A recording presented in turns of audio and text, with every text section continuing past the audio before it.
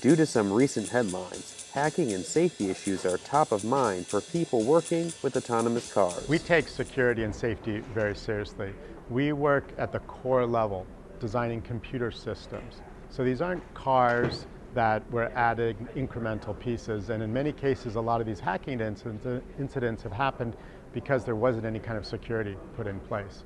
At the fundamental level though, we are working with secure systems, preventing firewalls, um, sandboxing areas, so perhaps the you know, ability to plug in your phone and download apps is a benefit, of course, but we keep that area secure from the rest of the vehicle systems. The security issue is something, again, we take very seriously. We're building that into our systems.